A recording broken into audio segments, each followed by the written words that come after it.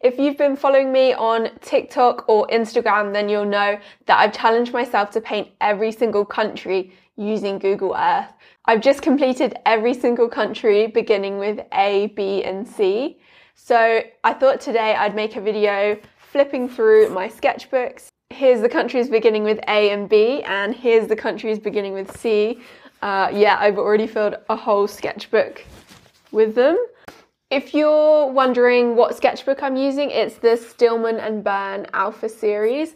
So the paper is actually not that thick, but the good thing about these sketchbooks is the paper really takes a lot of water and can kind of survive everything you throw at it. The other great thing about these sketchbooks is they have a lot of pages in them, so that's quite helpful when I'm doing a challenge like this where I just have so many paintings that I'm doing. There are 195 countries in the world, so I'm on, I think, the 45th country so far.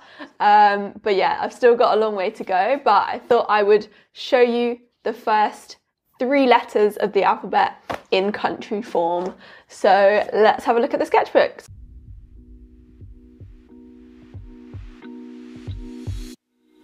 So this is the very first sketchbook with all the countries beginning with A and B in it.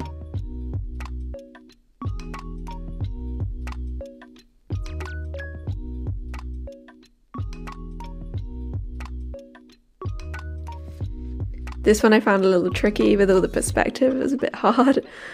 I really like Andorra. The scene that I found was amazing. It's just so interesting to see what you can find on Google Earth. Now, here things started to bleed through from the other pages, which is quite annoying. Got even worse when I got to Antigua and Barbuda. It's basically a bit ruined, but um, I think I realized it once I got to here, and I, I stopped putting the paint right down the crease of the page. So if you're if you're looking to do this yourself and painting a lot across the page, then I would definitely suggest just keeping an eye on the, the middle of the sketchbook just to make sure there's no paint going back to the other pages. Now, this was in Australia, so I actually painted this on location, but I did two drawings. So this is the first one I did, and for some reason I didn't like it. I'm not actually quite sure now why, because I, I actually think that's fine. But this is what I eventually ended up with. So sometimes when I'm painting, I do end up doing two drawings, as you'll see here as well for Austria. Um, I think I got the perspective a bit off there, so then I, I straightened it up for, for the final painting. But I definitely don't get it perfect every single time. Uh, but that's why it's so great doing it in these sketchbooks because there's just so many pages, so you really can just take your time with it. I really like doing the beach scenes as well. There's just so many cool ones around. Oh yeah, this I don't know what happened there, um, but that was Bahrain, so it ended up looking like that.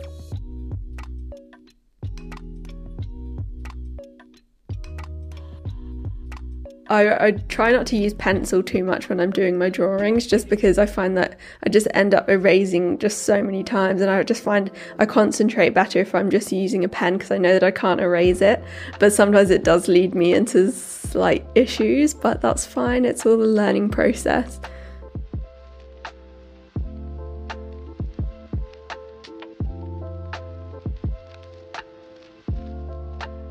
This one was interesting because on a 360 photo on Google Earth, it's quite a circular photo, so I almost got to practice a bit of circular perspective, which was quite fun. This one was just fun going underwater. I didn't even know that you could go underwater in Google Earth, so that was really cool.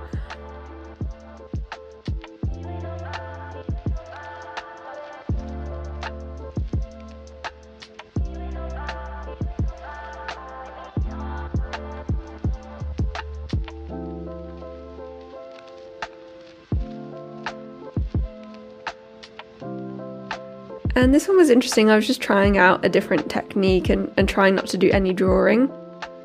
Then for Bosnia, there were so many different scenes that I wanted to paint for this one, so I just kept changing my mind. And I think I painted three different scenes before I finally found the famous bridge that everyone knows in Bosnia. And yeah, that I really like that one.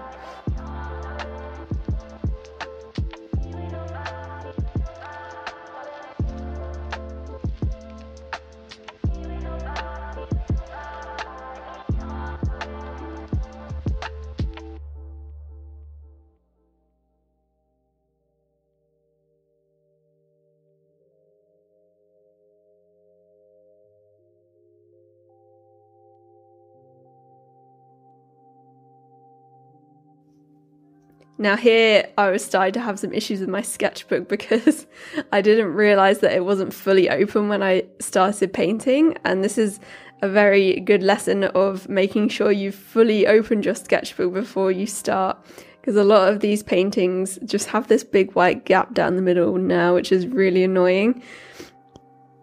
And I think it took me until I got to Canada before I actually noticed. Uh, still doing it here. Yeah, still doing it there. Oh, it's just really annoying. But then I finally realized it when I got to these ones. So there's no, there's not a wide gap down every single painting. That would be very annoying. So yeah, always make sure that your sketchbook is properly open before you start painting.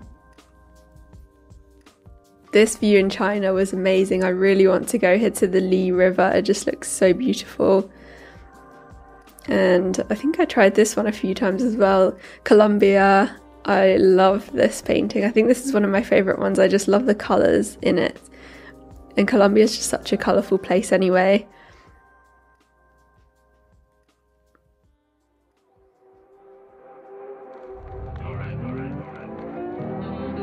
And Costa Rica, I, I did a lot of negative painting around that waterfall, which I think is a really nice effect.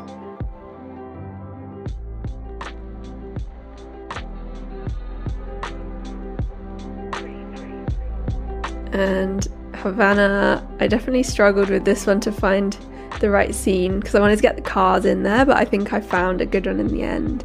There's so many cool cars around Havana, so I wanted to make sure that I got that in there somewhere. Cyprus, who knew that Cyprus had a ski lift? And finally, Czechia or the Czech Republic. So that's everything. Thanks for watching. If you like this video, then please give it a thumbs up and hit subscribe. I'll be posting new videos every week. And if there's anything you want to see from me, feel free to leave a comment down below. Thanks for watching. I better go and start on all the countries beginning with D.